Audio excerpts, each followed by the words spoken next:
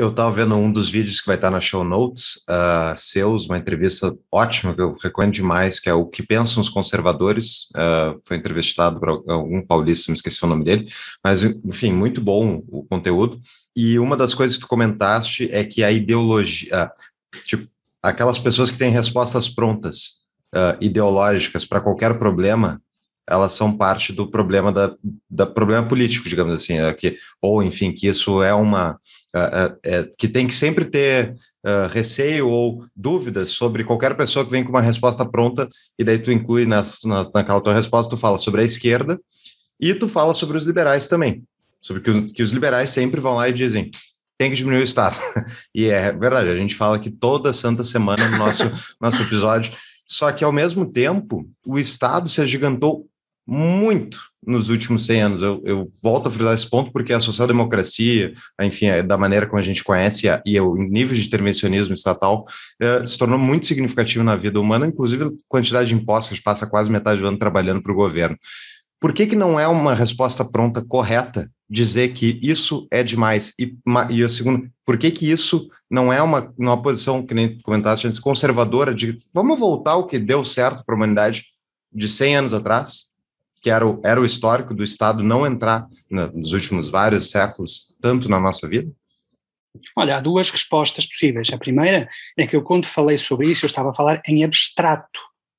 Ou seja, eu admito que, olhando para uma realidade em concreto, e eu, eu como eu tive a oportunidade de dizer online, na, na troca de e-mails, eu não conheço a realidade brasileira para poder estar a, a, a dar receitas ou sugestões, mas uh, se uma análise da realidade brasileira, política e económica, chegar à conclusão, como eu desconfio que chega, de que há um problema de patrimonialismo e de estatismo no Brasil, é evidente que isso convida a uma solução que nós podemos designar por liberal, no sentido liberal negativo, no sentido de, de defesa de uma maior dimensão da liberdade negativa ou seja, no sentido de que eh, cabe essencialmente às empresas eh, poderem eh, tocar os seus negócios, não pagar tantos impostos, terem possibilidade de fazer os seus investimentos, etc, etc, etc. Isso é uma, é uma resposta possível.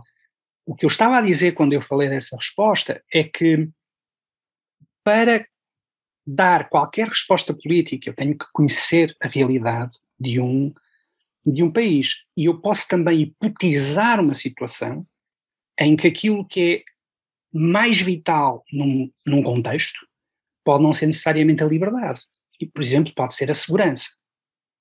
Ou pode ser a igualdade. Ou pode ser qualquer outro valor, dependendo da natureza da, da, da natureza da situação.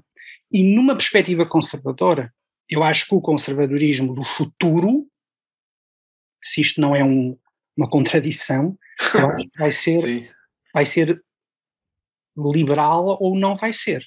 No sentido de que o liberalismo, e aqui estou a falar não do liberalismo económico, as pessoas têm uma, uhum. uma obsessão com o liberalismo económico, mas esquecem-se que o liberalismo começou por ser uma posição política nos séculos XVI, XVII. O liberalismo tout court é já uma tradição, e foi uma tradição que triunfou no século XX contra as alternativas rivais.